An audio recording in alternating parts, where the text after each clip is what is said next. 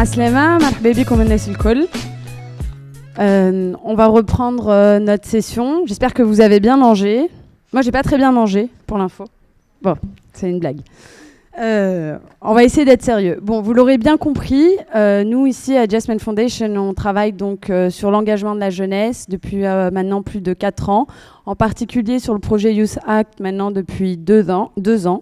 On est partisans de se dire que les jeunes sont capables, qu'ils sont engagés, qu'on ne supporte pas entendre les discours euh, que justement, euh, soi-disant, les jeunes sont éloignés de la politique ou que c'est pas fait pour eux ou qu'ils euh, ne sont pas capables de prendre les décisions. Non, c'est l'inverse. Donc, hier, j'étais avec Tesnim, ma directrice, et elle a dit une phrase qui, moi, j'aime beaucoup. Elle dit L'idéalisme peut se faire dans le concret. Oui, je crois que c'est un peu ça qui s'est passé pour Youth Act. Et justement, à côté de moi, j'ai deux personnes qui me tiennent euh, grand, grand, grandement à cœur, deux jeunes.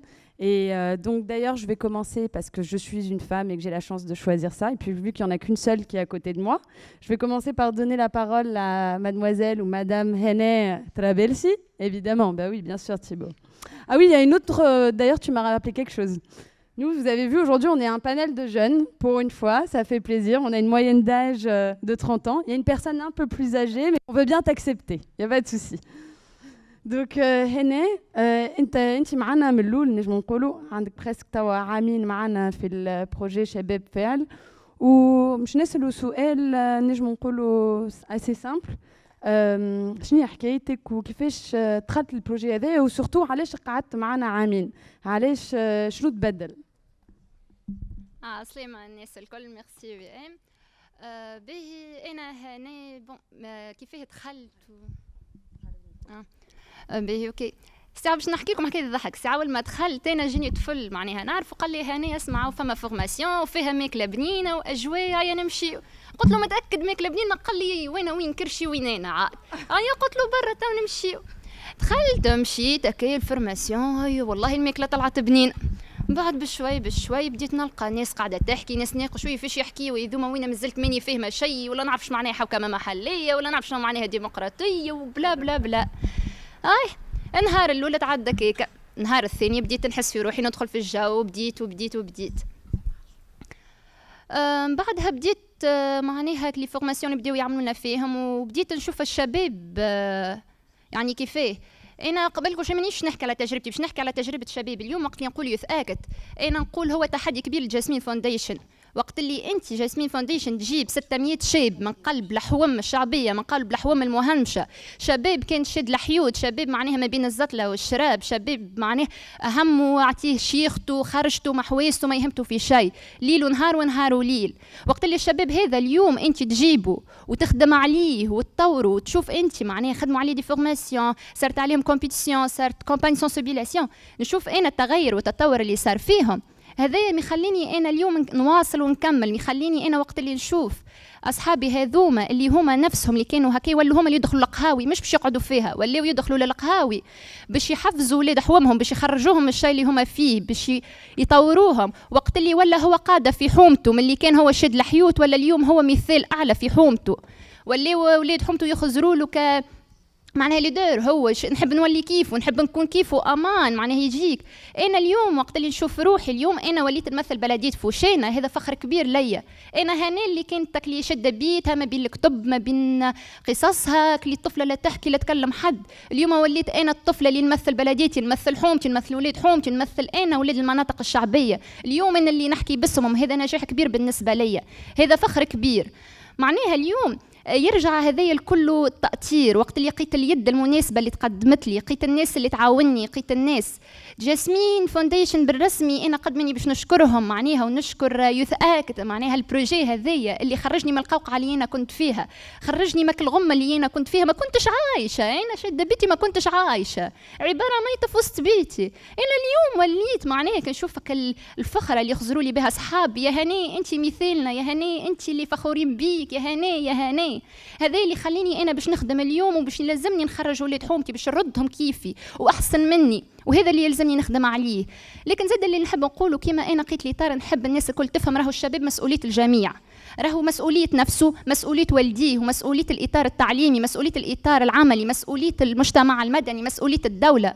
وقت اللي والديه كي يروح هو مثلا من فورماسيون ولا يروح عمل أكسيون سوسيال ما يروحش يقول والدي ربح منها باللي تبع لي في الريق الفارغ راهو نحب نقول لكم النجاح ماهوش ماديات راهو النجاح هو وقت اللي أنت تخزن لروحك وتشوف التغيير اللي فيك. وقت اللي النجاح تشوف تعطي تأثيرك للناس.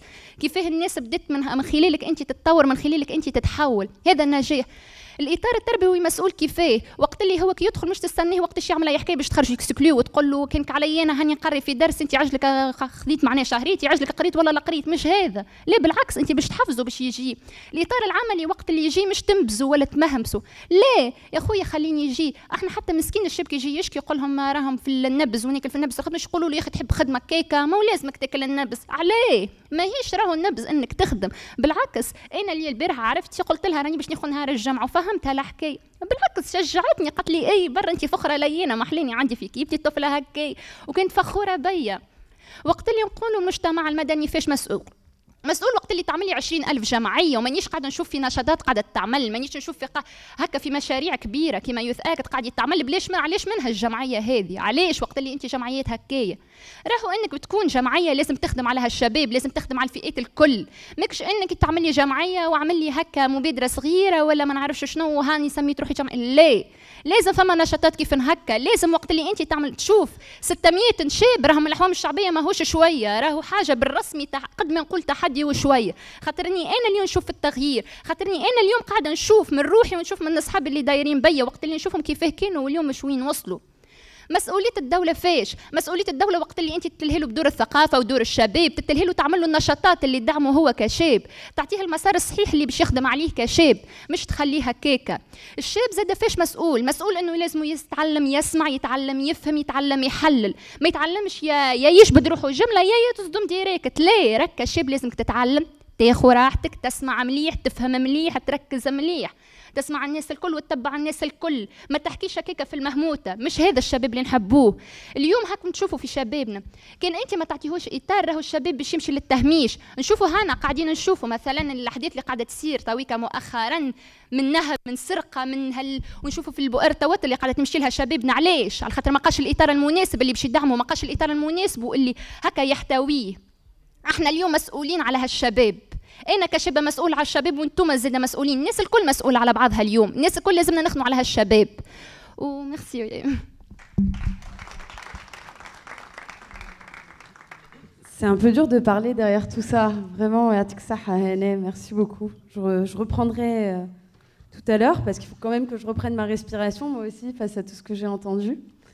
Et, euh, et, pour ça, je vais donner la parole à quelqu'un euh, qui me tient énormément à cœur, منظر دخولاوي منظر أنا ديما نحكيها ونعاودها معناتها. أول مرة أنا تلقيت بيك ان توكا في الكافي جونيس. وقتها كنت أنت تحكي على السرقة وعركة ما بينك الجان كان نتذكر فما كانت جماعة المرور وجماعه الكبارية.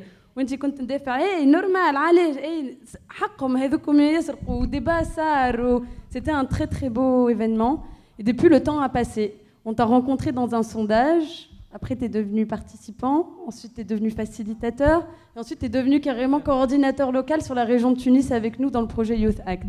Alors, si tu peux nous raconter un petit peu tout ça. نرحب بالناس الكل قبل كل شيء ميرسي وي ام أنا منذر الدخلاوي المنسق الجهوي على جهة تونس في مشروع يوث اكت أنا ثم مقولة ديما نؤمن بها نقول إنه أول طريق للنجاح هو إنه الإنسان لازم يؤمن بالشيء اللي يعمل فيه. هذه من الناحية الأولى ومن الناحية الثانية إنه أعظم اكتشاف هو إنه الإنسان يكتشف ذاته والقدرة وشنو قادر ينجم يعمل. المشروع يوث اكت أنا أول ما بديته من الأول بديته بقصة غريبة برشا. أنا شاركت في سونداج كيفي كيف أي شاب تونسي شارك في سونداج سونداج هذا لفت الانتباه نتاعو سؤال تحفون برشا هو تعتز بحومتك اي وإلا لا.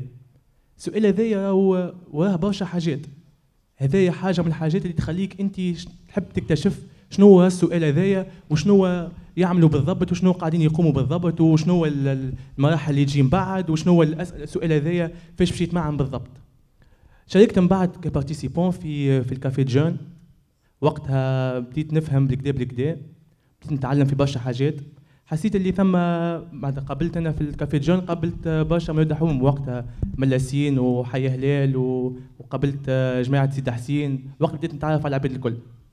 والله آه، أنا حبيت معناتها حسيت احساس تحفون على الأخ. معناتها يمكن ما نكونش مانيش نحكي في كلام سوري معناها ولا معناتها رامي الورود معناها. أما واحد حس بالحق إنه لازم يعمل حاجة كي ويتحرك.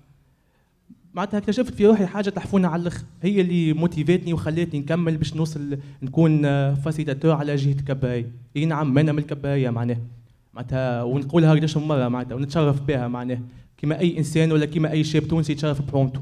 لكن آه، واحد يتشرف بحومته اي ومن بعد. لازم يقدم حاجة لك الحومة هذيك اللي مدته معناتها اللي اللي معناتها اللي وقتها وصلته باش ولا إنسان معناتها معناتها خاطر الحومة يتربي والشراع يربي زاد. مش كان الوالدين. حتى الحومة عندها دور كبير. كي تكون الحومة مزيانة تكون حتى ال حتى الإمباكت على الشاب التونسي تكون أزين وأحلى معناها اللي حبيت نوصله أنا وحبيت نقوله إنه بينت صوره الكباية في معناتها نجم نقولوا في ابها حلة معناها في في مشروع نتاع الكومبيتيسيون. الكومبيتيسيون كانت عندها رونق آخر وحاجة مزيانة برشا. إنك تخرج حومتك في أبها معناتها وحاجة مزيانه برشا في في معناتها في دي سيبور معناتها تحسهم أنت معناتها شنو الدخول هذاك؟ لكن لا هذيك تحكي غنيات اللي خرجوا هذاك تحكي على حومة تحكي على فلان هذاك التاعب المسكين تحكي على الشاب اللي طموح نتاعو يمكن في يوم من الأيام تقصد الطموح نتاعو لكن لا نجموا نواصلوا ونكمل. وكملنا ووصلنا حتىكش للكومباني. وكملنا بعد الكومباني. أما في الكومباني قصص قوية برشا. كومباني كي تحكي احتكاكك مع المواطنين ومساءلتك مع المواطنين وكيفاش تحكي وكيفاش تتكلم صحيح هذاك كل تعلمته. صحيح هذاك كل معناتها كان نظري لكن تو ولا تطبيقي ولا على الصعيد التطبيقي حاجة كبيرة برشا. معناتها إنك تواصل مع فلان وتواصل مع المواطنين وتحكي وزيد تحكي وتقول وزينا باش نبدلوا كذا وباش نغيروا كذا وناقصنا كذا. أي نحكي عن حاجة ناقصتني باش نجم نبني بعد. على خاطر واحد لازم ينقذ الساعة الحاجة معناتها في حد ذاتها ومن بعد يحاول يبني يبني بالكدا بالكدا الكومباني كانت زوناها نحن الحوم الكل في الكومباني معناتها تقريبا معناتها تونس الكبرى الكل معناتها ما خلينا فيها حتى شيء. أما اللي زرته أنا وخلى طابع عندي باب سويق باب سويقه كان عنده طابع كبير برشا. تشوف الناس خاطر تعرف أنت لما باب سويقه والرونق نتاعها معناها. كيف كيف كيفاش عملنا الكلوتير نتاعنا معناتها في وسط البلاد والناس حافلة معناتها وشفناها في الدوكيومنتير قبيلة معناها. هذاك يخلي الطابع نتاعو تبقى ذكرى معناتها حلوة على الآخر تبقى عندها قيمتها. كيف كيف وقت اللي كملنا خدمنا على الفاستوا وحكينا كيفاش خدمنا على البلديات وكيفاش احتكينا بالبلديات وحاولنا نبدلوا خاطر نعرفوا اللي البلدية هي, هي أول كونتاكت مع مع المواطن. ولازم البلدية تكون عندها معناتها معناتها تغييرات وتكون عندها برشا أمور. ما نحبش ندخل في التفاصيل برشا. خاطر كان باش ندخل في التفاصيل يعني باش نطول وباش نبات معناتها نحكي على التجربة. خاطر أنا حبيت نبين حاجة تحفونا على الآخر إنه إنه جاسمين فونداسيون قبل كل شيء هي مدرسة كبيرة. ويوث أكت هو المدرسة هو البروجي هو المدرسة الثانية. خاطر ثم حاجات ماكش تعلمهم لا في لا في الليسي ولا في ولا في الفاك ولا في حتى بلاصة أخرى. باش تعلمهم في المجتمع المدني وباش تعلمهم في البروجي باش تعلمهم وقت تحتك بالناس. وقت تفهم إنه إنه المجتمع المدني ماهوش ماهوش معناتها معناتها كونفيرونس وإلا سيموي تعمل لا. هو احتكاك بالناس. هو إنك تهبط لوطه وتتكلم مع الناس وتفهم مشاكلهم تبدا بحومتك قبل كل شيء. انا فهمت حومتي حاجتها وفهمت الكبايه وانت وقتاش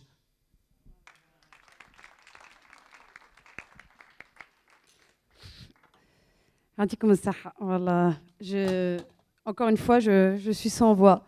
Anna, j'avais commencé par vous dire euh, l'idéalisme peut se faire dans le concret. J'espère que vous avez compris pourquoi j'ai dit ça.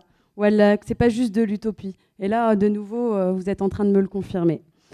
Euh, et en fait, vos paroles me permettent de rebondir sur deux choses, justement. Tu l'as bien dit, la société civile, mais juste tu connais soura. Ou les jeunes, ok, on veut former des citoyens actifs, mais ça ne doit pas juste être ça. Il doit y avoir une démarche, il doit y avoir une pédagogie derrière. Il faut que justement, ça ne doit pas être une démocratie une occupationnelle. Réellement, aujourd'hui, l'espace de participation, il ne fonctionne vraiment que si c'est un espace d'action. Et donc justement, là, je vais me tourner vers, euh, vers Thibault. Thibault Renaudin, qui est secrétaire général de la FEV, président cofondateur de la zone d'expression prioritaire. Il vous laissera vous expliquer ce que c'est, parce que ça vient de la France, ça. Et, euh, et donc, euh, pour nous, c'était très important de t'inviter, Thibaut, parce qu'aujourd'hui, ça fait presque 7, 8, 9 mois qu'on est en discussion avec la FEV, qui est l'association de la Fondation étudiante pour la ville. Et la FEV, aujourd'hui, elle a près de 8000 engagés, on m'a dit l'année dernière. Je crois qu'hier, tu me disais qu'il y avait près de 30 000 jeunes, ou peut-être plus, peut-être que tu me corrigeras, qui sont passés, euh, en tout cas, dans euh, 160 000. Alors là, j'étais vraiment loin, quoi. 160 000 jeunes engagés qui sont passés euh, par la FEV euh, ces dix dernières années. Et on a parlé d'un sujet, et qui a été justement retracé euh, par mes deux collègues, qui est l'engagement. Qu'est-ce que les formes d'engagement aujourd'hui? Merci beaucoup pour euh, ton introduction et, merci infiniment pour cette invitation. Euh, souvent, quand on se déplace comme ça d'un pays un peu lointain, et, particulièrement le mien, on est pétri de, prétentions diverses et variées. Et, depuis que je suis arrivé hier, euh, c'est à chaque fois une, euh, une grande leçon d'humilité que je ressens et que je reçois. Et les deux té- témoignages que, nous venons de- d'entendre participent à cette profonde humilité et que je suis heureux d'être euh, là. D'abord, parce que ça, dénote aussi notre partenariat euh, avec la, Jasmine Foundation, mais au-delà de ça, euh, cette envie d'accompagner un pays qui fait une révolution incroyable. Et, pour moi et pour beaucoup de mes concitoyens, la Tunisie est aujourd'hui un, véritable, un véritable modèle. Et donc c'est très enthousiasmant pour moi d'être là avec vous aujourd'hui. Alors, la modeste structure dans laquelle je suis, tu l'as dit, c'est- bon, ça fait un peu plus de 25 ans que nous travaillons. Et l'enjeu, c'est vraiment de mobiliser des jeunes dans les quartiers populaires et donc de faire du lien entre les universités et les quartiers difficiles en France, et ils sont très nombreux. Et donc, on a différentes modalités euh, d'intervention pour participer à réduire les inégalités sur les questions éducatives. Donc, très vite, on parraine des jeunes deux heures par semaine dans les quartiers difficiles. Ce sont des jeunes qui nous sont envoyés par l'éducation nationale et on les accompagne dans leur scolarité. On mobilise donc ça, il y en a un peu plus de 7000 en France, euh, dans euh, 350 quartiers un peu partout en France et également en Catalogne, qui fait parler un peu d'elle en ce moment, euh, Bar- Barcelone et puis autour de Barcelone. Deuxième dispositif, c'est un dispositif de, mobilisation euh, de jeunes en service civique. Ce sont des jeunes qui ont une indemnité pour leur engagement pendant 6 à, à, à 10 mois. Et donc on en a 700 et qu'on met en place au sein de l'éducation nationale sur des thématiques particulières, l'accompagnement à lecture pour les plus petits, la question de la parentalité, de l'ambiance scolaire pour les collèges. Et pour les lycées professionnels, on intervient sur la valorisation et, euh, la lutte contre le décrochage. Et ensuite, on a un troisième dispositif où on fait vivre, donc ça j'en ai 700 en France, des jeunes en service civique. Et ensuite, on a un dispositif qui s'appelle les colocations à projet solidaire, où on fait vivre des jeunes, des jeunes étudiants, des apprentis, des jeunes euh, salariés. On leur propose de vivre en colocation, donc dans un projet de vie collective pendant un an, deux ans, trois ans. Et chaque colocation est liée à des projets de solidarité en bas de la cage d'escalier dans le quartier. Et donc, ils viennent alimenter, renforcer euh, les projets de solidarité qui existent déjà euh, par des associations au local. Voilà. Puis après, on a tout un travail de, plaidoyer sur les questions de lutte contre l'échec scolaire, de responsabilité sociétale des universités et également de, reconnaissance de la jeunesse, et j'y reviendrai peut-être euh, tout à l'heure. Donc, l'engagement, il est complexe. hein. La, question que tu me poses, en tous les cas, ce que l'on voit, j'aurais tendance à le dire avec assez peu de connaissances de la société tunisienne, mais de ce que j'en perçois depuis hier, depuis mon arrivée, et de ce que je vois en Europe et dans un certain nombre de pays dans le monde. D'abord, c'est la conclusion qu'on vit de plus en plus dans un village planétaire, donc tout se ressemble un peu, et y compris les bonnes pratiques, et y compris les, mutations, et, et en particulier les mutations d'engagement. Et ce que l'on voit aujourd'hui, c'est que la différence avec il y a quelques années, il y a quelques années en France, que je connais le mieux, on était dans un engagement, que l'on soit jeune, moins jeune, plus vieux, comme moi, comme tu as eu la gentillesse de le préciser, euh, un engagement qui était total. On voulait changer la société dans son ensemble. Euh, on voulait euh, gérer les structures dans lesquelles on s'engageait. On voulait, on voulait pas être reconnu dans cet engagement. C'était un engagement total, profond, etc. Aujourd'hui, on voit bien que changer la société dans son ensemble, c'est quelque chose qui est compliqué, c'est complexe. Donc on veut la changer ici, là, maintenant, tout de suite. On ne veut pas s'engager durablement dans une structure, on veut passer d'une structure à une autre. On a du mal à transférer sa parole à un tiers, quel qu'il soit, que ce soit un responsable associatif, un responsable de, de parti politique ou autre, quelque représentant que ce soit, on a du mal à transférer sa propre parole. Et on se sent un peu éloigné de sa société globalement, et paradoxalement, on veut être plus reconnu dans son engagement. Voilà quelques-uns des critères qui sont un peu majeurs, en tous les cas en France, euh, avec, et je crois que ça c'est un peu vrai partout aussi, une défiance qui, est, profonde. Une défiance par rapport à la sphère politique, par rapport à la sphère publique. On, a, du mal un peu à s'identifier et on est extrêmement prudent, bien plus que ce que l'on était euh, avant, ce qui nécessite de faire tout le travail que, vous faites euh, et que fait la Jasmine depuis, euh, depuis plusieurs années et ce, et ce projet depuis 30 mois est pour moi tout à fait remarquable. C'est vraiment une, une illustration pratique et concrète d'une démocratie exigeante. C'est de faire des citoyens des citoyens libres et de faire des jeunes des acteurs de leur société. C'est majeur. Parce que ce que vous faites là, je me disais, il y a un paquet d'endroits en France où ça serait sacrément utile. Euh, je peux vous le dire. Alors qu'en France, on a quand même de la prétention plein la bouche à expliquer le monde à tout le monde. Euh, bon, et eh bien là, euh, des amis ou des ennemis? Euh, non, mais en, tous les cas, là, il y a vraiment, il y, aurait vraiment à, à, à beaucoup de ce que vous êtes en train de faire. Et moi, je suis très heureux de ce partenariat qu'on est en train de mener parce que je crois qu'on va recevoir autant que ce qu'on va donner. Et ça, c'est pas mal.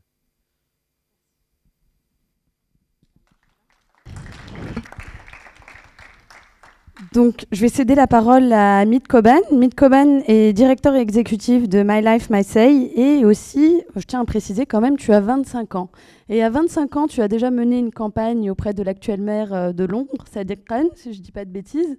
Et aujourd'hui, tu es un conseiller élu à, euh, pour euh, Stock Newington. Alors, je vais juste reprendre par rapport à ce que vient de dire Thibault, qui vient de parler justement de défiance vers la sphère politique. Nous, c'est vrai qu'aujourd'hui, on a beaucoup parlé euh, d'engagement, mais d'engagement, on va dire, dans la vie publique, dans le débat public, dans l'associatif, euh, ces questions-là.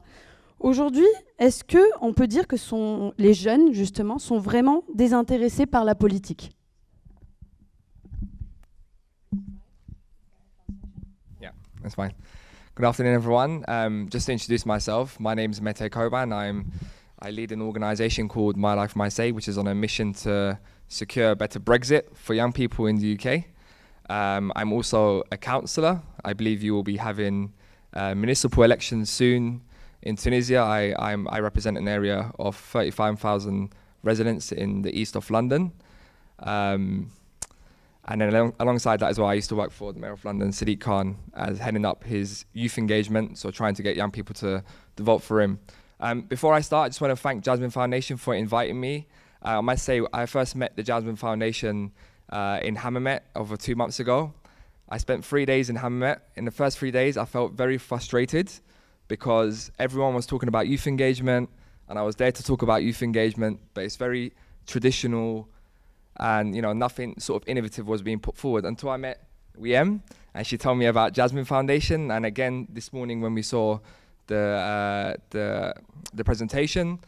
It was great to see how much they're working with engaging young people from underrepresented communities, because there is a difference between young people being underrepresented, and there is a difference between young people of different intersectionalities, which are also even more underrepresented. So, for example, women.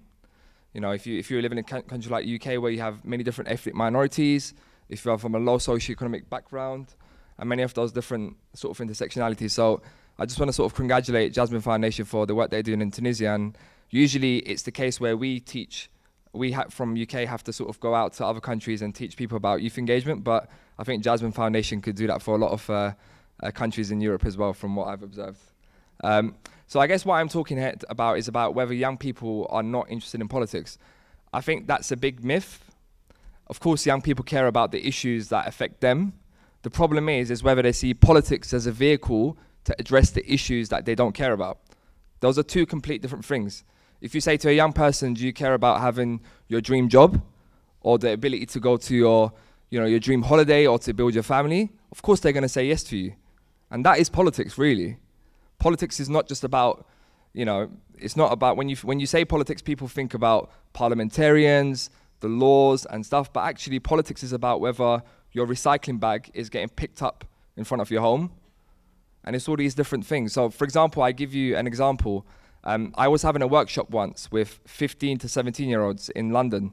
And one of them identified Pokemon Go, which is a, a game that you play on your phone, um, as a technological trend. I asked him, Do you care about politics? And he said, No, I don't care about politics. And I said, What's on the news about Pokemon Go at the moment? He didn't know, so someone else said they might share your location with the government. I said, How do you feel about that? And he said, I don't want the government to know where I am. And then someone else said, Actually, it's a good thing because if the government knows where I am and something bad happened to me, they can help me. And I said to him, There you go, that's politics. So I guess what I'm trying to say is if you don't do politics, politics will do you. Ultimately, it governs your day to day life. The reason why it's perceived to believe that young people do not care about politics is there are many reasons. As I said, it's not seen as a vehicle. Part of it is education, which is the most important thing aspect. You know, young people are not educated about structures and processes. So, for example, I'm a counsellor. The average age of a counsellor in the UK is 66. 66 is the average age. And whenever we, and so that just tells you that, that you know, as, as young people generally, we don't see politics as a vehicle to address the issues. And particularly given the fact that local government actually impacts your day to day life more than national government. But people don't see those differences. So, for example, I have many residents in my area who have issues around housing. They will go to the MP, to the parliamentarian. Actually, the parliamentarian can't do nothing for them. It's more me or other councillors who can do that for them. So there, there's a whole educational aspect. So I think that we need to increase uh, civic education, and that's why the work like Jasmine Foundation uh, is really important. The second aspect is obviously distrust between politicians and young people. The problem is, is we live in an age where either politicians overpromise and underdeliver, which creates that distrust. Then you have also the fact that you know there are scandals, so it could be corruption. And then also the third element as well, again linking back to the education, is where you have a case where people are not educated about politics and what politicians do. Sometimes their expectation is here, and the reality of what the politicians could deliver is here, right? So bear with me when I tell you when I say this, but I think that a lot of politicians can learn a lot from Donald Trump. Not because I agree with anything he says or his policies, but if you look back at it, everything he said he's going to do before the election, he's either doing it, he's attempting to do it, or if he can't do it, what does he say? I can't do it because of this, this reason. And my question is, is why can't normal, good intentioned politicians also do the same thing? And that's what creates that mistrust. So if you promise something in an election, come out and say, look, for this reason, I can't do it no more. Otherwise, what happens is you say you say it before the election, and then those four years go past, you never speak about, about it again. And then people get put off of voting. So going back to your question, of course young people do care about issues. The question is, is whether they see politics as a vehicle. Um, I'm not sure if you want me to speak about My Life, My Say at this point, or yeah. So I, we set up an organisation called My Life, My Say in London, or it's a UK national-wide organisation now, which is all about evolving relationships between young people and decision makers. I'll just briefly tell you a bit about what we do to hold decision makers to account, particularly on the issue of Brexit. Um, so we set up after the referendum in, in 2016. We thought long and hard about how do we meaningfully impact the negotiations. Um, and it's easy to have a campaign. Don't get me wrong, I think campaigns are really good. You have to increase public awareness. But the reality is, how, how far does it go to actually impact policy? So, what we set up is something called a parliamentary group on a better Brexit for young people, and it acts as a structured engagement platform between young people and decision makers. That way, we're able to scrutinize Parliament through the Brexit process. And we could put forward our own uh, proposals during the negotiations. Now, it's not binding, but it is a parliamentary group. And we do have privileges, and we have parliamentarians who are interested in our cause who represent it. So, since then, we've gone on to work with the European Union, with the European Commission, and also with the government's Department for Exiting the EU, which is the Brexit department of the, of the government. Um, and since then, we've released a report with the London School of Economics on what a better Brexit looks like for young people. Now, as a result of that parliamentary process, that group that we created, just a couple of weeks ago, the government announced in the UK that they will commit to Erasmus Plus, even if we leave the European Union. And that's as a result of the work that we're doing. So I guess what I'm trying to say is, is when we're thinking about youth engagement and you know and about advocacy, we have to think about twofold approaches. One is how do you engage with this, the most disengaged, and the approach I think the Jasmine Foundation is, is taking is the good one, which is it's not just using traditional means of engagement. So, for example, firstly, I think the first step is identifying where young people go to in their social, day to day, and digital lives. Yeah? And then how do you engage with young people on, them, on those platforms? So, rather than creating a space called My Life, My Say or the Jasmine Foundation and bringing them to you, it's about going to them. So, that's why the cafes are really important. We also run the cafes in the United Kingdom we had 32 in, we run it together with Starbucks. I know Starbucks doesn't exist in, uh, in Tunisia, or maybe it does, I don't, I'm not sure. Sorry for my ignorance. Um, but part of the reason why we do it in Starbucks is because a lot of young people go there for their social, social day lives. We also worked with, in, in the UK, in the run up to the election in 2017, we worked with Uber, which is a cab taxi um, app, and we also worked with Tinder, which is a dating app where you could swipe left or right. So what we done with them is, in the run up to the election, if you were using Tinder, you got a pop up to say register to vote. And that is a platform where millions of young people use it. It's the same with Uber. If you booked a taxi, whilst you were waiting for your taxi, within that three minutes, you had a prompt to say, have you registered to vote? So I guess what I'm trying to say more overall is when you are thinking about how do we engage with disengaged young people, it's about making sure that you go to platforms that they already exist in. So you're not recreating work. So again, I used to come from a footballing background. I was a scout for Arsenal and for Southampton. And football clubs have community foundations in the United Kingdom. They work with so many boys and girls from disadvantaged backgrounds. So we partner with many football clubs across the country to be able to reach those people because they are already working with young people. We don't need to take them and create an, another space for them. And then the question is, how do you then translate that into something meaningful, which is where, which is what the parliamentary group, which I explained to explained to you. Now, it doesn't have to be the same level of parliamentary group that we have, but it can be something that similarly exists in Tunis too. Thank you. I will, I will, I will be back for you.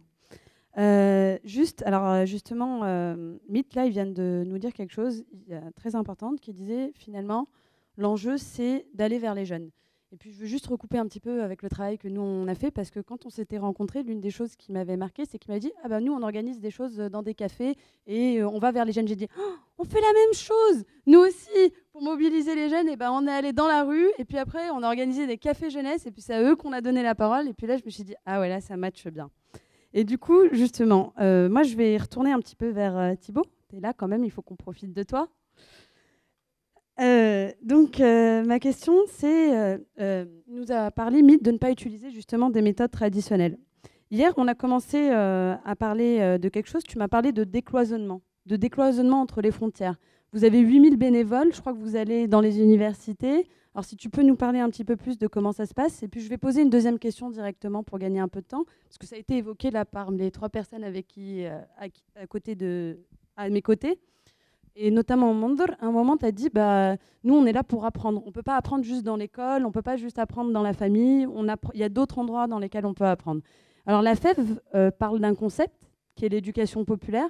Si tu peux nous expliquer un petit peu euh, plus, euh, voilà, qu'est-ce que c'est? L'éducation populaire, si vous avez deux jours, parce que c'est un très vieux concept français, c'est l'éducation du peuple par le peuple pour le peuple. C'est assez simple.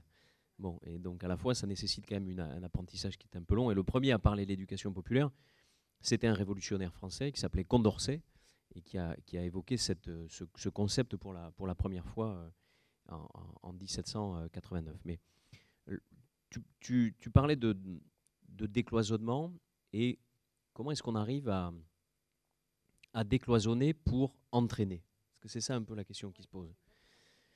D'abord, euh, et, je crois que les exemples qui nous sont fournis, euh, les deux témoignages qu'on a eus tout à l'heure, le démontrent, et c'est vrai en France, et je me bats tous les jours contre ça, enfin pour ça, c'est de dire, et, l'illustration euh, de notre ami anglais le, démontre également, c'est que globalement, il y a une aspiration forte des citoyens et des jeunes à s'impliquer.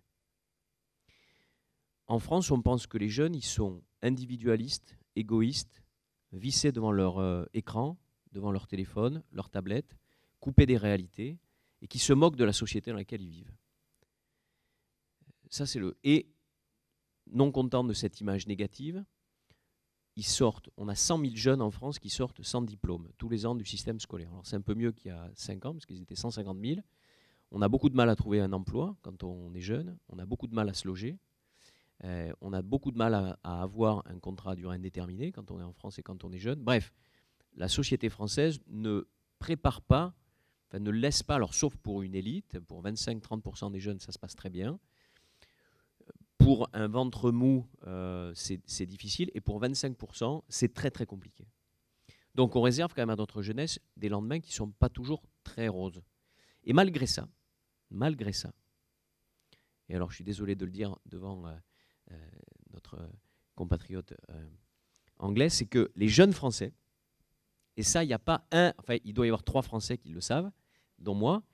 Euh, non, on est en train justement de faire une campagne là-dessus. Les jeunes Français sont les deuxièmes à s'engager le plus dans des actions d'intérêt général dans la très grande zone Europe, après qui?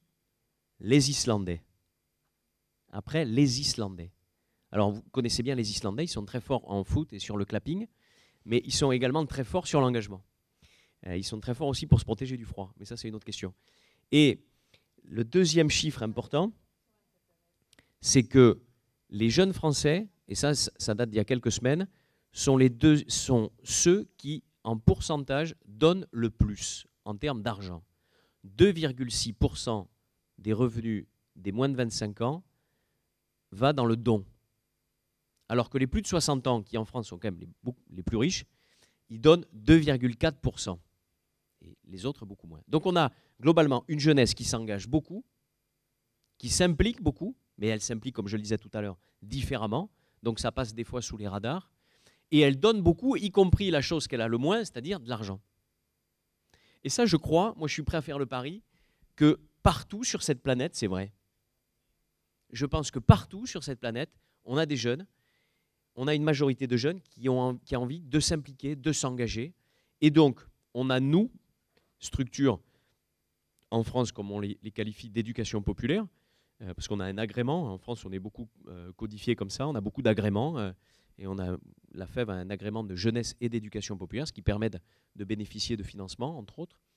Mais nos, mouvements, et c'est vrai pour la FEV, c'est vrai comme la Jasmine, c'est vrai comme euh, ton association, on a une impérieuse nécessité à s'adapter à la fois à cette aspiration extraordinaire à l'engagement, mais surtout sous des formes différentes.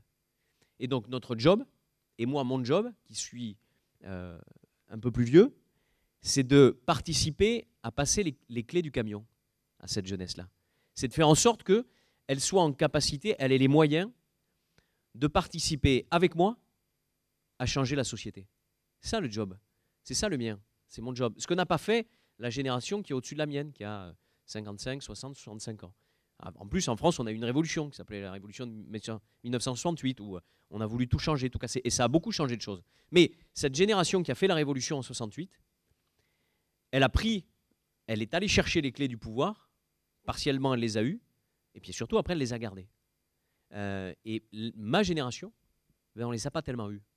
Donc on se bat aujourd'hui pour les avoir, mais on ne les a pas tellement eues. Donc il est évident qu'il ne faut pas reproduire ça pour les générations futures. Et donc il faut qu'on soit en capacité, et c'est pas facile à faire, mais à donner un peu les clés du camion ou totalement. Et, c'est une vraie révolution euh, en termes de structure, de, constitution d'association, de rapport à l'engagement, de rapport au, à, autrui et de rapport aux jeunes, forcément, parce qu'il y a un autre élément euh, qu'il faut prendre en considération, et, c'est pour ça que je, je vais peut-être en dire deux mots avant que tu me poses la question. C'est un observatoire qu'on est en train de, de créer, voilà, ça sera fait. Euh, ça s'appelle l'Observatoire de l'engagement des jeunes. Je vais créer, là, on va créer au mois de mai prochain, avec un gros institut de sondage euh, français qui s'appelle le CSA, un observatoire de l'engagement des jeunes pour mesurer scientifiquement, tous les ans, l'engagement des jeunes dans la population française pour casser tout ce que je vous ai raconté depuis le début, des, faux semblants et des idées reçues que euh, la, la, génération qui a les clés du pouvoir et les citoyens lambda ont de, des jeunes. sachant que cette image négative, les jeunes l'ont aussi d'eux-mêmes. C'est ça qui est terrifiant. C'est qu'ils ont aussi, ils pensent que en dehors d'eux, bah, les jeunes, ils s'engagent pas, ils sont individualistes, égoïstes, etc. Bon, ce qui est faux, ce qui est totalement faux. Et donc, ce, qui, ce, qui, ce sur quoi il faut également être attentif, et je finirai là-dessus, c'est le fait que euh, on vit la troisième révolution de l'humanité. Un sociologue français qui le décrit très bien, qui s'appelle Michel Serres, et qui est très très vieux, lui pour le coup, hein, puisqu'il a 90 ans, mais il, analyse ça en disant, il y a d'abord euh, la première révolution, c'est la révolution de l'écriture, ensuite c'est la révolution de l'imprimerie, et maintenant c'est la révolution du numérique. Le numérique qui change complètement toute la société. Et la génération des moins de 25, des moins de 30, elle a complètement intégré cette révolution numérique. Ce que moi je n'ai pas intégré, ou que partiellement, et que les plus vieilles générations n'ont pas intégré. Et donc si on n'est pas attentif à, à, créer beaucoup plus de liens entre ces générations-là, euh, va se creuser un fossé qui peut être inquiétant. En plus d'en avoir une mauvaise, une fausse image de l'engagement des jeunes, la génération euh, la plus ancienne va être complètement déconnectée de cette génération qui arrive et qui a totalement intégré les codes d'une société numérique. Et ça, ça bouleverse tout dans notre société, de l'éducation à la santé, au travail, au tourisme, au déplacement. Enfin, ça bouleverse absolument tout. Et donc, il y a nécessité à retisser un lien fort, mais il faut regarder, enfin, c'est pas mais, et il faut regarder cette jeunesse dans sa diversité, dans sa volonté d'agir, de changer les choses et de les changer différemment. Tu m'aides beaucoup parce qu'en fait, tu m'as fait une bonne transition parce que tu nous as parlé justement de, ce numérique que les jeunes euh, maîtrisent. Et je voulais passer à toi, enfin, Mythe. Tu te définis justement comme euh, pionnier, comment ça se dit en anglais Pionnier, en tout cas en français, dans le, la digital démocratie. Et du coup, j'ai une question, c'est quelles sont aujourd'hui les méthodes d'engagement au niveau digital et comment toi tu as pu procéder? Voilà. So, on, on, on the case of digital democracy and how we can engage with young citizens, not just at the raising awareness level, but also policy level. So, when I worked for the Mayor of London, Sadiq Khan, we created a platform called hashtag Dare to Dream. which was a crowdsourcing platform to be able to crowdsource the views of young Londoners. Because in London, just to give you a bit of set the context, the average age of a property buyer is 39. The average first time buyer spends 420,000 pounds sterling for a new property. And the average first time buyer also needs around £100,000 in deposit. And lastly, more than 60% of Londoners at the moment who are renting spend more than half their income just on rent. So the big issue for young Londoners is housing. So what we've done with Sadiq Khan is when we created the Dare to Dream platform, some Londoners, young Londoners, had some views. And one suggested actually that we should work out the average income per municipal per local town and cap the rent at a third of the income. So as a result of that one tweet, it's now the Mayor of London's official policy to carry out London Living Rent homes in London. So on any new built London Living Rent purposefully built property, the, the rent is capped at a third of the average income, which is amazing. So that, that's one way to engage with, with young, young people using digital democracy.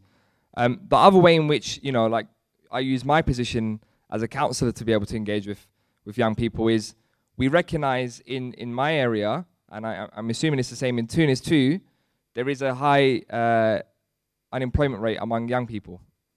But also, even if they are employed, they are at very entry level jobs. So they are not sort of managerial level jobs or there is no path to managerial level jobs.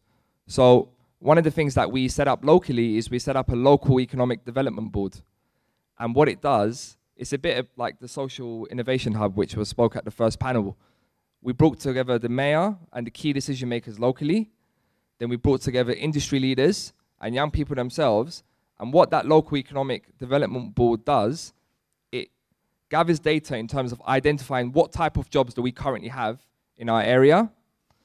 It looks at where we are likely to be 10, 15 years time. So for example, we know in, in, in the case of the UK, there is a massive decline of the retail sector because digital means, for example, in banking, a lot of banks are shutting in, in, in London because most more people are just using online now.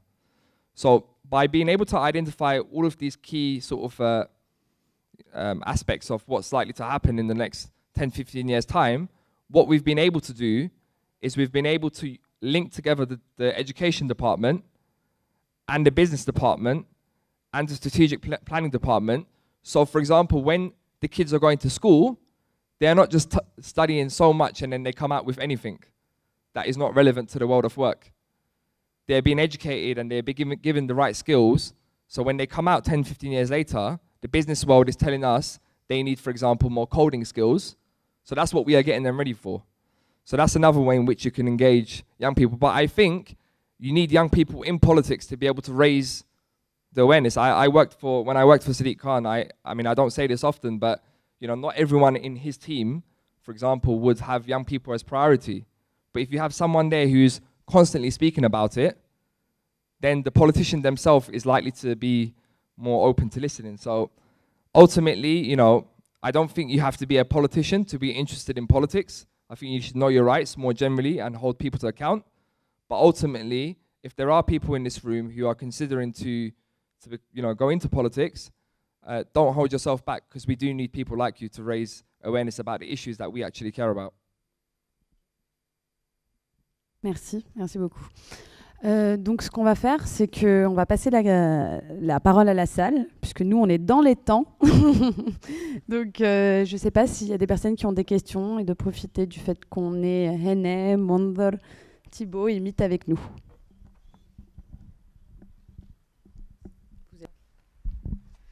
Salam alaikum Neskul, euh, Yusuf Sfersi de l'ordre de l'ingénieur euh, de Bizert. هنا عندي سؤال خاطر أنا حسيتها نشطه في المجتمع المدني وبويسكو هنا قالت المجتمع المدني عنده دور. كي يبدأ المجتمع المدني غيدي بار دي جون إيش باش يعملوا لي جون بور لي جون كي تبدأ ما عندهمش الماكلة. كي تبدأ لا كرياسيون دو لاسوسياسيون اكسيتيرا بوتونسيال معناتها و قدرة الجون قد اللي ينجم عمل وقد اللي ينجم انخرط. كاش باش يجيب صحابه؟ Ou euh, les questions suivantes euh, pour uh, Meet. So, my life, my say. Uh, how your life is going now? And uh, did they listen to what you say in your municipality? And have you something to say in your municipality? How did you manage to integrate the big scale under your mind? This is uh, my dilemma and uh, just now. Thank you.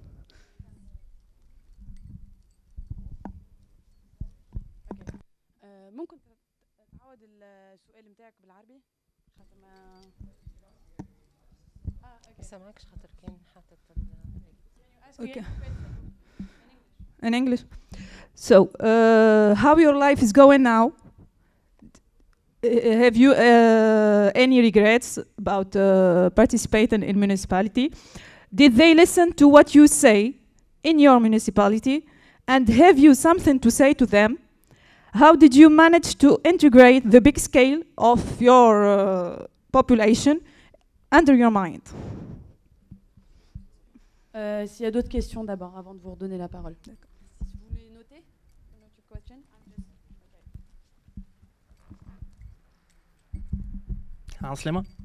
Uh, my question is addressed to Matt.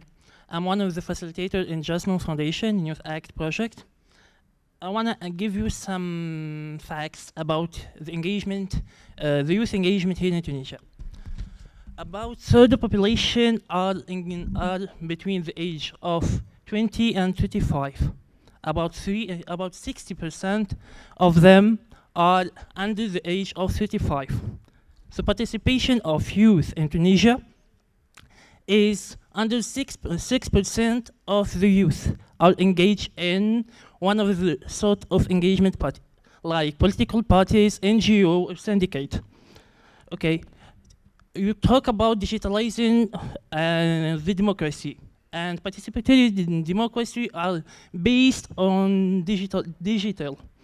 Here in Tunisia, the contradictory is Tunisia is leading the award of the, the youth are engaging in social media and on web. And the government are not. For example, the, the municipality, the number of municipality or the percentage of municipality that have a website or platform are 20%. How we can deal with that? How we can uh, deal with the fact that the government is not leading the platform or the and the, the population that leading in the social media or the website?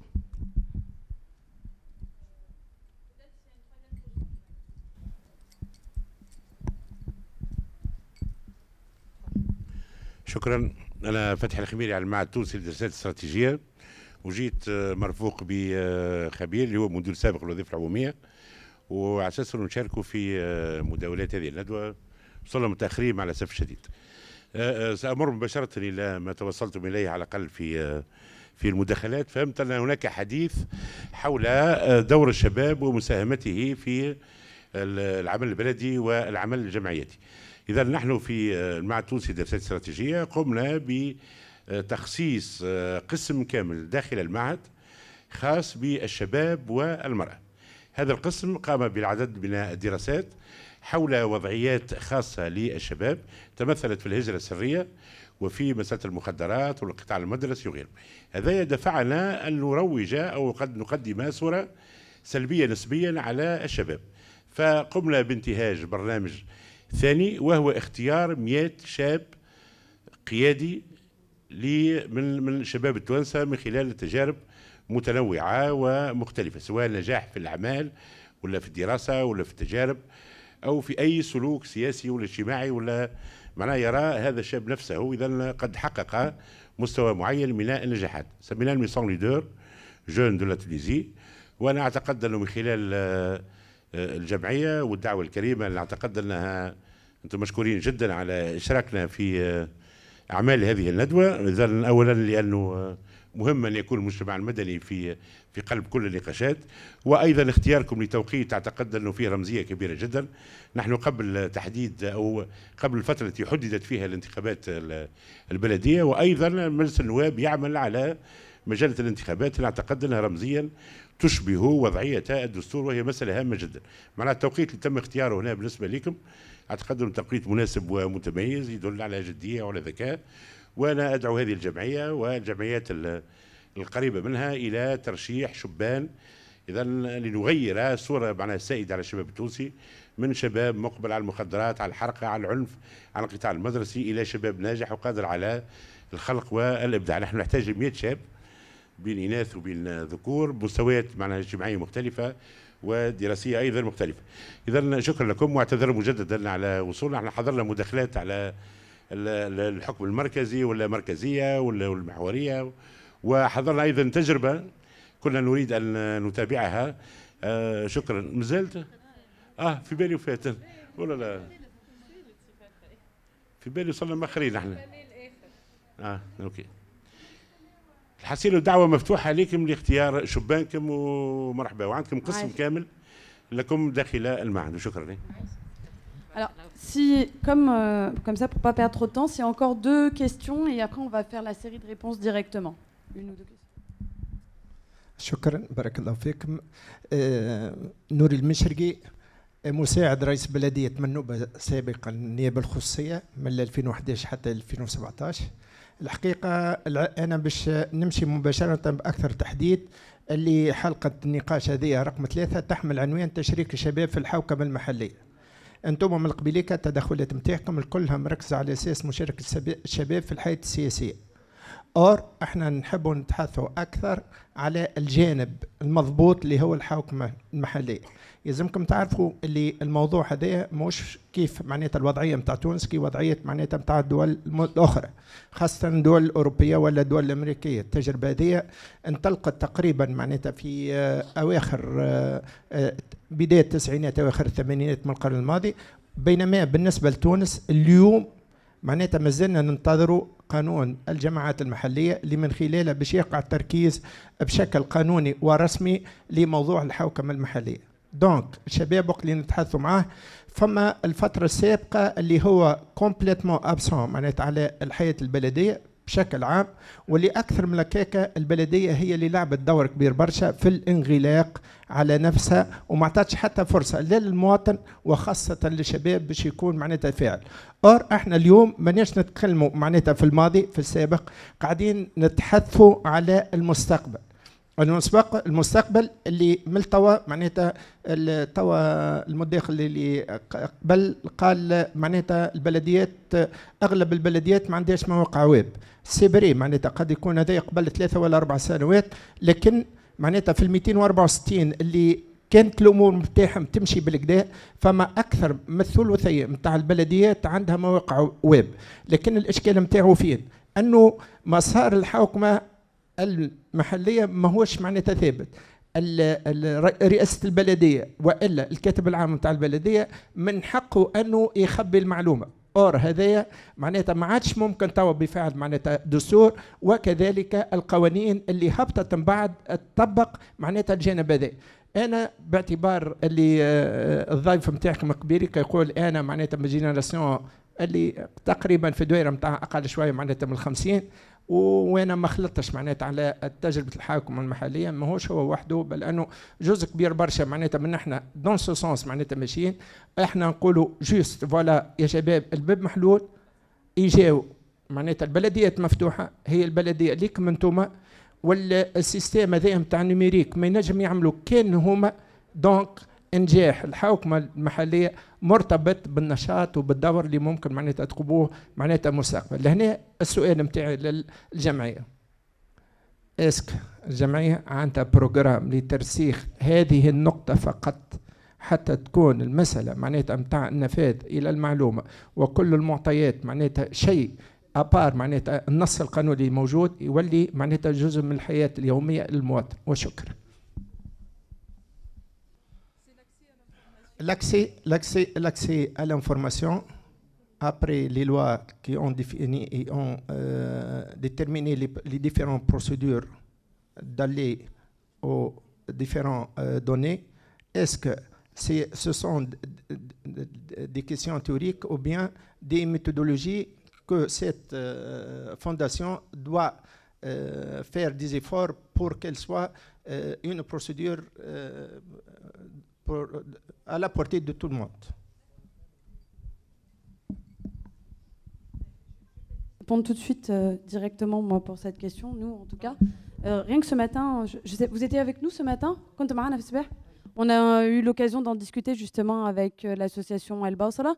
Mais nous, oui, tout à fait. Enfin, l'un de nos objectifs, c'est de faire un plaidoyer dans ce sens. D'ailleurs, c'est ce qu'on a fait. L'une des, activités ou des actions qu'on a menées, par exemple, sont on a réalisé des cartes d'évaluation des performances avec euh, quatre municipalités qui sont celles de, en tout cas sur le projet sur lequel moi je travaillais, Sidi Yassine, Mornagui, euh, Tadam et El Mhamdia. Et un autre collègue a également travaillé sur euh, la municipalité de la Marsa. Alors c'est vrai, on a une réticence avec les municipalités quand on leur demande l'information. Mais finalement, justement, en parlant de notre droit, en parlant qu'aujourd'hui c'est instauré dans la Constitution, on arrive à obtenir. Mais on est totalement d'accord que Arbi vient de le rappeler, quand on a 20% seulement des municipalités qui donnent accès à l'information, il faut qu'on pousse pour. Et euh, du coup, oui, il faudrait qu'on fasse un plaidoyer dans le sens, et c'est ce que nous faisons en travaillant directement sur le terrain avec les municipalités. Voilà, ça, ça serait une première réponse. Alors, pour euh, répondre au... D'accord, ok, très bien. Donc, je vais donner euh, la parole à Mythe pour répondre aux questions des, just want to start off firstly with, with your your question about the um, how to sort of uh, manage digital democracy in an age where a lot of young people are using social media, and you know where the government doesn't want to or sort of engage in those levels. I think the point about digital democracy is digital digital democracy should help support digital means should support democracy. So I don't think we should he heavily go all the uh, digital because I think you won't reach the most hard to reach. And if you have everything online, that's assuming that everyone wants to engage on social media, which that's not the case. You otherwise, what you have is you won't have a representative sample of the population. It will only be people who have the means to, to be able to, to access those things. I think what government can do is part of the work we are doing in the UK is we are part of the so my life my say we are part of the the government's national democracy council and it specifically looks at digitization of democracy um, and what you can do for example is you can use digital means to improve accessibility for citizens to be able to engage with democracy so for example being able to register to vote being able to do that online to be able to check if you're registered to vote online so i think that's where digital means can be supportful and very helpful. Um, going back to the question about myself and my journey in as a local councillor, um, I guess I'm finding it. I am enjoying it. I've been doing it for three and a half years. It feels like I've been doing it for ten years, partly because it is a very um, stressful uh, sort of job as it is. But I think the most encouraging aspect of being a counselor is is you know everyone can change we can talk about changing policies that affect people, but I think for me, one of the best enjoyments that I get out of it is when you can help, say for example, one family, and you see the the you know the change that you can make to their to their life and how that make the you know the the excitement that they, that gives you, and I think that's what drives me and gives me the passion to be able to go through all of the difficult barriers that I face because the reality is, as a young politician, people will always perceive you to have less knowledge and less experience. And you'll always be patronized. You have to accept that when you're going into it. But the challenge for you is, and what, what you need to do is, is you need to be able to come o- overcome that. And you know, the reality is, is you have to probably work two, three times harder than any other counselor to be able to prove that you are not just there to tick a box and for people to say, "Oh, look, we have a young counselor." Um, there are difficulties that come with it. Your life becomes very public especially, you know, I'm not sure how, what the case is in, in Tunis, but in, in London or in the UK, when you are a politician, your life is very public, and everything you do, every tweet or anything you put out, is um, is public and leaves you open to to damage. But I'll leave it as that. And I just want to come back to one last point because I know it's my last time I'll probably speak about local government. Um, I think it's so important that when Tunisia is putting together their local government offer, that they really invest into it. And when I mean invest into it as well, when you have your local council poli- politicians, I hope that they do, for example, get paid as a job because those little things make a massive difference in two ways. One is if you don't pay your local councillor a wage, then what happens is that puts a barrier on so many people entering into politics. Because if you're a, a single single working mum, or if you're a young person who have to think about your day-to-day living, you haven't got the time to be a politician. So they need to be able to pay you to be able to actually do something meaningful when you're a local when you're a local when you're in local government. Um, the other reason why is because if you don't get paid as well, it also encourages corruption, and you see that across the Commonwealth where I've done a lot of work. There are a lot of councillors or people in local government who have been open to corruption because they don't get paid, and you know they might for they may for example close an eye or you know get support one way for one planning application or whatever it is local government is so, so, so important. It is where you see the most difference in your life. It's in the interest of the state too. If you're cleaning up the streets, for example, people are more likely to pay their tax. Because as a citizen, if I'm paying tax, I want to see that my money's value is going somewhere. If I'm paying tax and people are saying to me, oh, we're using it for cleaning streets, hospitals, but I see my streets are dirty all the time, my hospitals ain't, good service, then you'll be more likely to op- uh, open to sort of avoid paying tax as well. So it's in the interest of both sides, both citizens' side and also politicians' side. So I hope all of you here, and more generally, that you raise awareness and you advocate for more and more devolved powers to local government, because ultimately, people in your area will know how to use the resources best than people in central government. حبيت اقول لك رغم الجمعيه مش مستحقه معناها انت كمثله ولا كحاجه انك تجيب شباب هذه قوة المجتمع المدني. وقت اللي انت عندك برشا مهارات تعرف كيف تدخل بها للشباب؟ الشباب ماهوش مستحق هذاك أنا نجم ندخل بطريقة أخرى. قلت أنت هو اللي كيف تدخل له؟ قالت جاسمين هي زي ما بك أنا حكيت الانسان أنا حكيتها هكاك معناها أنا وين الماكلة وين أنا معناها لكن هي قوتها مش هكاك زعما الشباب الآخرين كي جاو جاو بالماكلة ما جاوش بالماكلة. بالعكس جاو بك الإطار اللي هي حطته بك ال... شوف كيف عملت لي كافي جونوس كيف عملت السونداج كيف خرجت للشباب هي خرجت للشباب هذا باش يجلبها. أنا ما حضرتش عليهم لي سونداج ولا كافي جونوس معناها هذيك علاش؟ لكن هنا اللي نحب نقوله لك راهو زاد انت وقت اللي تقول لي شباب كيف يجيب شباب معناها وهو أصلا ماهوش. أنا هوني كي نعرف كيف نأطروا الشاب هذاك نعرف كيف نخرج منه اللي من داخله. هو خاطر ما يعرفش شنو داخله لكن انت اللي باش تخرجوا منه. وقت اللي انت تخرجوا منه تخليه هو يكون قدوة لغيره. وقت اللي يريه غيره يولي هو يحب يكون كيفه. هوني هذه قوتك انت كمجتمع مدني ماهيش قوة الماكلة ولا قوة الفلوس ولا قوة لا. هذه قوتك انت كيفاه انت برنامجك كيفاه تكتبه كيفاه تخرجه له كيفاه الشاب تجيبه كيفاه تأطره جوست نحب نرجع نعطي الكلمة لمنظر خاطر جوستومون حكينا برشا على لا ديموكراسي ديجيتال لوتيليزاسيون دي ريزو سوسيو دون لي جون وانت بكري قلت نحب جانسيست على لا كامباني دونك جوستومون انت كيفاش عشت هالكامباني والكومبيتيسيون vous avez beaucoup produit de choses dans ce sens là أنا حبيت نضيف حاجة مش باش نطول عليكم برشا آه، اللي حبيت نقوله إنه آه، الاستعمال نتاع لي سيبور وال وال والبرودوي ارتستيك اللي صاروا في ال في الكومبيتي في الكومبيتيسيون كان تأثيرهم كبير برشا على الكومباني الكومباني استعملنا فيها حاجات جديدة. معناتها معناتها ديزيدي جدد. كما مثلا اكزامبل الفلاش موب تصور انت تقف هكايا في وسط معناتها سوق كيما سوق باب الفله معناها اللي يعرف سوق باب الفله تقف فهمتني؟ وحاجة فيت فيت تصير هكايا معناتها كل كل اكسيون تصير نذكر معناتها كيفاش معناتها صارت الحكاية تضحكني برشا أنا. أما الجو اللي فيها والطابع اللي فيها تنجم وقت تدخل تدخل القلوب القلوب لي جون. نعاود نرجع لها بنتها باش نقول لها اللي تنجم تدخل لقلوب الجون بالطريقة هذيك. معناتها نحن توا الجون كلنا كيف كيف كيف بعضنا معناها. نجموا نفهموا بعضنا. الكومباني خليك تقرب أكثر معناتها من لي جون وتفهم عقلية لي جون معناتها. كي نحن دوناها باب سويقة ودوناها باب سعدون باب جديد آه، محمدية فوشانة دوناها معناتها تونس بن عروس منوبه اريانا دوناها معناتها البلايص الكل. معناها تنجم تقول آه، تحتك بالناس تفهم الناس. تفهم تفهم الانسان هذاك كيفاش يخمم تفهم معناتها المواطن شنو يحب شنو يناقصه في حومته شنو الحاجة اللي تخليه بعيد ما يشاركش آه بالنسبة للشباب بالطبيعة. شنو اللي يخليه حاجة بعيدة؟ شنو اللي ينجم يضيف معناها آه تحمسه تحاول تحفزه. خاطر أي شاب عنده موهبة وعنده قدرات لكنها في شكل كومون. تحاول بال بال بال بال معناتها بالكلام معاه. بأسلوب معناتها يكون مزيان. الحمد لله نحن خاطر الشيء معناتها تمكنا منه نظريا معناتها ك في لي فورماسيون تيماتيك. خذا أكلها معناتها كما نقولوها معناتها في في الكومباني.